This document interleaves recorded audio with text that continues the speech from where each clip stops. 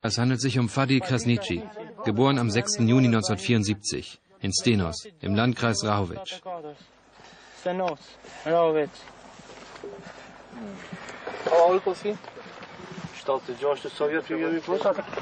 Ich meine, es schockiert einen natürlich zutiefst. Vor allen Dingen, wenn man die Geschichten hört, die sich jetzt um diese Morde ranken. Und wir haben ja gerade gesehen, er hat gerade seinen Neffen gefunden, den er seit Mai vermisst. Das trifft einen schon.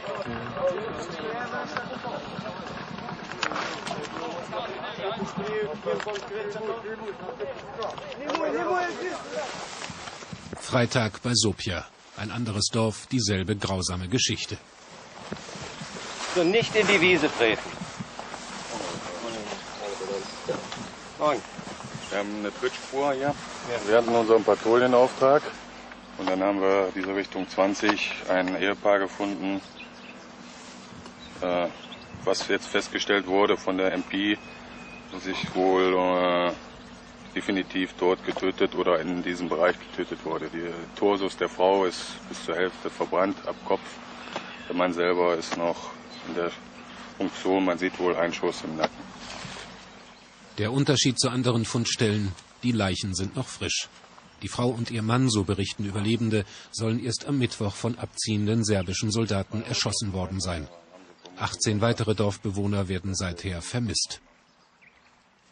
Die NATO hat heute den Luftkrieg offiziell für beendet erklärt. Das bedeutet nicht, dass auf dem Boden schon Friede wäre. Noch lange nicht. Der Krieg ist zu Ende, aber gekämpft wird im Prizren noch immer, verbissen, buchstäblich Haus um Haus. Rauch vernebelt die Altstadt. Gebäude, in denen einst Serben wohnten, werden von Albanern systematisch angezündet. Deutsche Fallschirmjäger greifen ein, mit einem Gartenschlauch. Die ganze Haus von innen müssen nass machen. Ich kümmere mich doch, ich glaube hier oben ein paar Einheimische. Auch unten, König. Ich schicke da ein paar Einheimische rein, wenn wir nicht selbst reingehen müssen. Das serbische Haus war gerade von albanischen Flüchtlingen besetzt worden. Die ebenfalls albanischen Brandstifter nahmen darauf keine Rücksicht. Es kam alles so plötzlich. Wir haben drinnen gesessen und Kaffee getrunken. Dann zündeten sie unser Haus an. Wir konnten uns gerade noch retten. Inzwischen ist die albanische Feuerwehr eingetroffen. Zu spät, wie immer. Plötzlich zerreißt die Stromleitung. Soldaten und Reporter rennen um ihr Leben.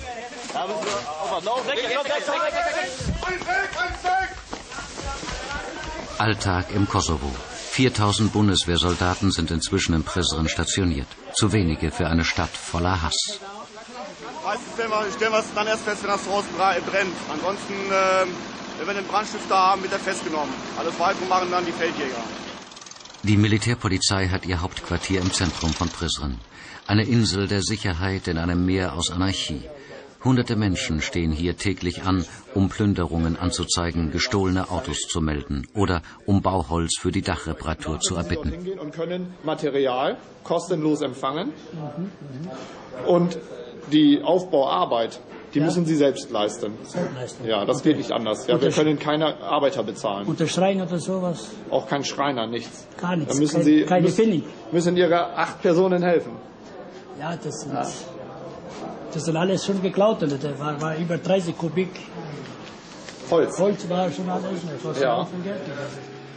Die Feldjäger spielen nicht nur Samariter, sondern auch Sondereinsatzkommando.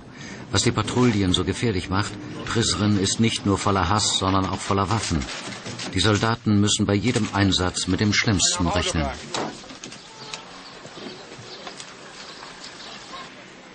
Auch das Gefängnis wird inzwischen von der Bundeswehr verwaltet. Und wie? Von rund 200 Häftlingen, die es derzeit im fünfzonigen Kosovo gibt, sitzen die meisten im Bundeswehrsektor ein. Dort gilt deutsches Recht, jedenfalls theoretisch. Die häufigsten Fälle beschäftigen sich mit ähm, Diebstahl, Plünderung und Hausfriedensbruch momentan, vor allem aber bei verlassenen serbischen Häusern durch Kosovo-Albaner. Und die schlimmsten Fälle? Die schlimmsten Fälle Mord, Vergewaltigung, Verschleppung. Allein zwei bis drei Morde werden täglich gemeldet. Bei 40.000 Einwohnern wohl Weltrekord.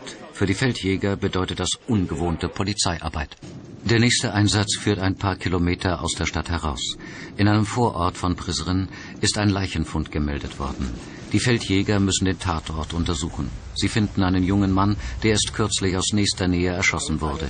Der halbe Schädel ist weggesprengt. Wir wollen eigentlich die Pioniere dazu bitten, weil wir nicht genau wissen, ob irgendein Zünder darunter ist, ein Druckzünder.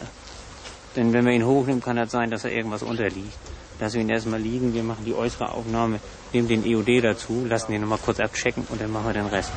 Die herbeigerufenen Pioniere haben ein Seil an der Leiche befestigt und ziehen sie vorsichtig zu sich heran. Eine im Kosovo übliche Form der Bergung. Allzu oft haben die Mörder auch noch Sprengfallen unter ihre Opfer gebaut. Ein paar Kilometer entfernt bergen Sanitäter im Schutz von Kampfpanzern einen verletzten Gefangenen der UCK. Der Mann, ein Roma, war auf dem Fabrikgelände festgehalten und gefoltert worden. Wie die UCK-Kämpfer glauben, aus gutem Grund.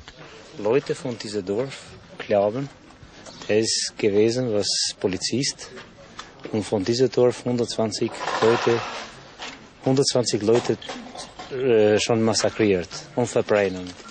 Auge um Auge, Zahn um Zahn. Im moslemisch-orthodoxen Kosovo gilt in der Praxis das Alte Testament und nicht das deutsche Strafrecht.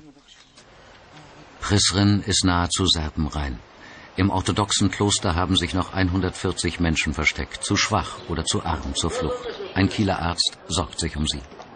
Wir haben jetzt hier einen der Schlafsäle, in dem die, insbesondere die alten Leute untergebracht sind. Äh, wir haben zum Teil wird in diesem Schlafsaal eben auch gegessen, hier äh, auf der linken Seite oder wie Sie sehen an den Betten. Wir haben vorhin gerade einen Notfall gehabt. Dass, ja, dass ein Mann ein, eine Herzattacke hatte. Also diese Personen schlafen zum Teil zu zweit in einem Bett. Also in diesen Betten, in diesen zwei Betten schlafen, schlafen äh, vier Personen. Könnten die Leute aufgrund des Gesundheitszustandes überhaupt wieder zurück nach Serbien? Äh, nein, ich denke nicht. Also ich denke, Sie sehen den, den Zustand, also auch der Weg von 80 oder 120 Kilometern wäre nicht gut. Dazu kommt einfach äh, die Angst äh, der Menschen hier, dass sie unerwünscht sind. Sie wissen auch in Serbien nicht wohin. Es ist ja nicht so, dass sie heim ins Mutterland kommen können, sondern sie sind unerwünschte Serben aus dem Kosovo. Meiner Meinung nach eben Serben zweiter Klasse. Bei Nacht steigt die Zahl der Zwischenfälle sprunghaft an. Die Bundeswehr hat zwar eine Ausgangssperre verfügt, aber sie kann unmöglich jeden Winkel der Stadt kontrollieren. Per Telefon gehen immer wieder Notrufe ein, meist anonym, aus Angst. Der Übersetzer hat eine Frau am Telefon, die über Plünderungen in ihrem Wohnblock berichtet. Straße und Gebäude, bald in eure Gebäude ungefähr ein paar Männer die Sache mitnehmen aus äh, serbische äh, Jetzt? Wohnung. Jetzt gerade? Jetzt, ja. Ja, das nimmst du auf. Ja? Wo haben wir die Aufnahme?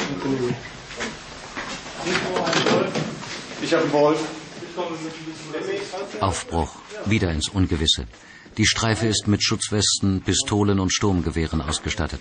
Auf einem der Geländewagen ist zudem ein schweres MG montiert. Weiter? Hier zwei, nur zwei. Hier, hier. Was denn? Hier, hier ist. Hier? Hier. Der Sturm der Wohnung ist inzwischen eingespieltes Teamwork. Der mutmaßliche Plünderer war zwar mit einer Pistole bewaffnet, hat aber angesichts der waffentechnischen Übermacht keinen Widerstand geleistet. Komm hoch. Komm hoch. Aufstehen. Komm hoch. Komm hoch. Ganz ruhig. So, hier, an die Wand.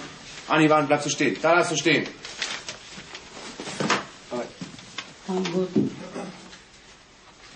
So. Er sagt auch, I'm sorry, I'm sorry. Es tut mir leid, es tut mir leid, ne? I'm sorry. Okay. Frage, was deine Wohnung ist hier. Du hast I'm sorry. I'm sorry.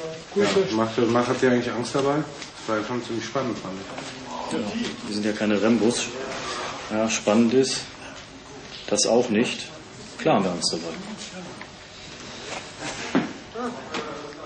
Wir sind zwar darauf, darauf vorbereitet, aber trotzdem pocht das Herz in der Halsschlagader. Noch ist die Schicht der Feldjäger nicht zu Ende. Diesmal rücken zur Absicherung auch Schützenpanzer aus. Die Soldaten wollen ein früheres Motel am Stadtrand durchsuchen, das inzwischen der UCK als Quartier dient. Die UCK-Leute sollen, so die Informationen der Feldjäger, auf dem Gelände Gefangene illegal festhalten. Wir suchen hier nach äh, eins, wahrscheinlich zwei Personen, die, wo wir einen von Zivilisten einen Tipp gekriegt haben, dass sie sich hier befinden sollen und bis Mitternacht eigentlich umgebracht werden sollten. Und deswegen sind wir eigentlich nur hier. Die UCK-Kämpfer geben sich ahnungslos und die Durchsuchung fördert keine Gefangenen, aber jede Menge Waffen zutage. Sturmgewehre, die auch nach dem Friedensabkommen als leichte Waffen legal gehortet werden dürfen.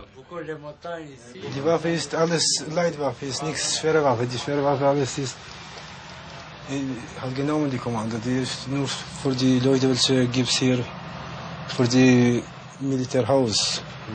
Und gibt es da auch irgendwann mal leichte oder musst du behalten? Ne, alles, alles ist die Schleider. Ohne eingreifen zu können, rücken die Feldjäger wieder ab zu ihrem nächsten Einsatz. Nacht für Nacht eine Sisyphos-Arbeit.